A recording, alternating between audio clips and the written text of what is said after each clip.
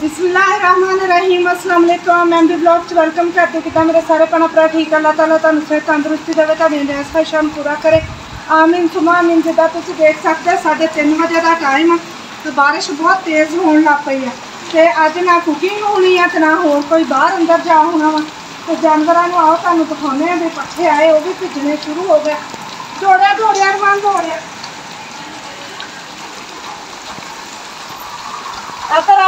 ਅਗਰ ਆ ਦੇਖੋ, ਥੈਲੇ 'ਚ ਗਿੱਲੇ ਹੋ ਰਹੇ ਆ, ਕਿਉਂਕਿ ਬਾਰਿਸ਼ ਬਹੁਤ ਤੇਜ਼ ਹੋ ਗਈ। ਸਾਡੇ ਬਾਰਿਸ਼ ਰੁਕਣ ਹੀ ਨਹੀਂ ਡਈ, ਰੋਜ਼ ਬਾਰਿਸ਼ ਆ ਜਾਂਦੀ ਆ। ਅੱਗੇ ਤੋਂ ਵਲੌਗ ਬਣ ਜਾਂਦਾ ਵਾ, ਤੇ ਆ ਦੇਖੋ ਇੱਧਰ ਜਾਨਵਰ ਪੱਠੇ ਖਾ ਰਿਹਾ। ਮਾਸ਼ਾਅੱਲਾ, ਮੱਝ ਦਾ ਰੰਗ ਦੇਖੋ, ਕਾਲਾ ਸ਼ਾਹ ਹੋ ਗਿਆ। ਤੇ ਮੱਝ ਨੇ ਆ ਕੇ ਸੈਲਫੀ ਦੇਣੀ ਆ। ਇੱਧਰ ਵੀ ਪੱਠੇ ਖਾ ਰਹੀਆਂ ਗਾਈਆਂ, ਸਾਰੇ ਪੱਠੇ ਖਾ ਰਿਹਾ ਜਾਨਵਰ ਇਸ ਟਾਈਮ ਤੇ ਬਾਰਿਸ਼ ਦੇ ਹਨਾ ਵਿੱਚ ਹੁਣ ਸਾਡਾ ਗਿੱਲਾ ਹੋ ਜਾਣਾ ਇਸ ਵਾਸਤੇ ਉੱਧਰ ਮੱਝਾਂ ਦੇ ਘਾਰੇ ਜਾ ਕੇ ਬਾਕੀ ਚੀਜ਼ਾਂ ਤੁਹਾਨੂੰ ਦਿਖਾਉਂਦੇ ਆ। ਇੱਧਰ ਗਾਂ ਦਾ ਬੱਚਾ ਪੱਠੇ ਨਹੀਂ ਖਾ ਰਿਹਾ ਕਿਉਂਕਿ ਇਹਨੂੰ ਬੜਾ ਮਸਲਾ ਹੁੰਦਾ ਬਾਰਿਸ਼ ਤੋਂ ਭਿੱਜਣ ਤੋਂ। ਤੇ ਹੁਣ ਹਨਾ ਤੁਸੀਂ ਖੁਦ ਹੀ ਫੈਸਲਾ ਕਰੋ ਵੀ ਇਸ ਮੌਸਮ 'ਚ ਬਾਰਿਸ਼ 'ਚ ਪਤਾ ਨਹੀਂ ਉਦਾਂ ਵੀ ਹਨੇਰਾ ਜਿਹਾ ਬਹੁਤ ਹੋ ਗਿਆ ਵਾ।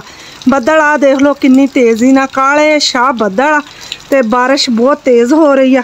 ਜਾਨਵਰ ਪੱਠੇ ਖਾਈ ਜਾਂਦੇ ਆ ਪਾਤੇ ਆ, ਕਿਉਂਕਿ ਅੱਜ ਬਾਰਿਸ਼ ਹੁੰਦੀ ਸੀ, ਜਲਦੀ ਬਾਰਿਸ਼ ਤੋਂ ਪਹਿਲੇ ਪੱਠੇ ਪਾਏ, ਜਲਦੀ ਪਾਤੇ ਲੇਕਿਨ ਫਿਰ ਵੀ ਹੈ ਨਾ ਬਾਰਿਸ਼ ਹੈ ਨਾ ਆ ਹੀ ਗਈ, ਪੱਠੇ ਹਲੇ ਪਾਏ ਸੀ, ਬਾਰਿਸ਼ ਆ ਗਈ।